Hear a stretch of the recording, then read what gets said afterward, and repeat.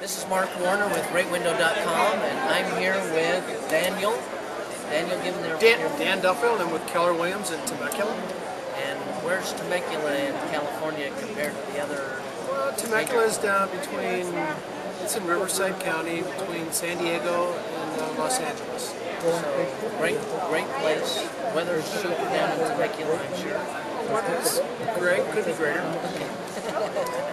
So uh, give me your website address. My, my website address is Phoenix, like the city Phoenix, Phoenix for the number four, phoenix4homes.com. Okay. Uh, memorable for Temecula. Memorable for Temecula. Uh, absolutely. So people will remember that website address. So Hopefully, hopefully they'll remember that. That's right. So tell me uh, what's good in Temecula in terms of either being a buyer or I'm not saying anything new here, but in April, the, the uh, tax credits possibly going away. We feel that interest rates will be going up, and it's a great time to buy now. Guys are great. Right now, we're at 15% affordability.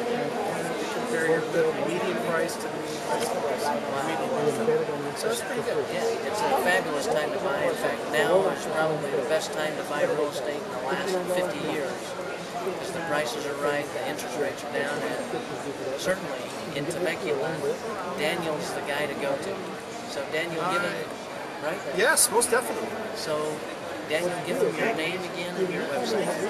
My name again is uh, Dan Duffield. It's Dan and Renee Duffield. We're with Keller Williams, and our website again is phoenix4homes.com.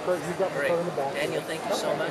This is Mark Warner from RateWindow.com. Great, great talking.